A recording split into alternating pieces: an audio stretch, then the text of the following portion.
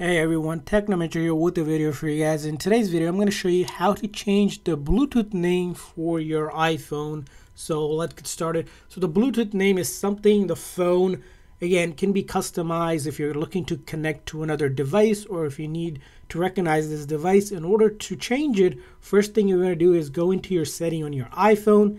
From there on, you're going to go to General and then click on About and this is where the Bluetooth name comes from, where you see where it says name.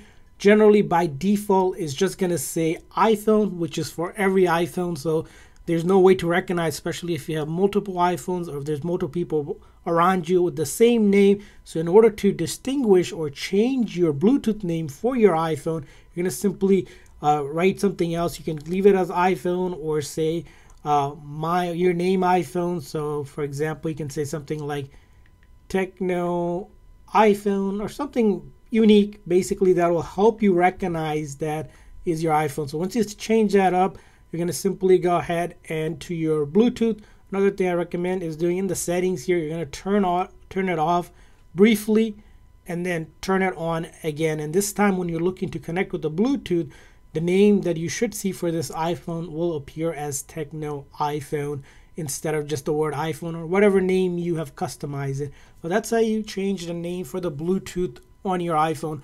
I hope this video is helpful. So please do consider a like and subscribe button for more tips and tricks for your iPhone and other iOS devices. We'll see you guys next time.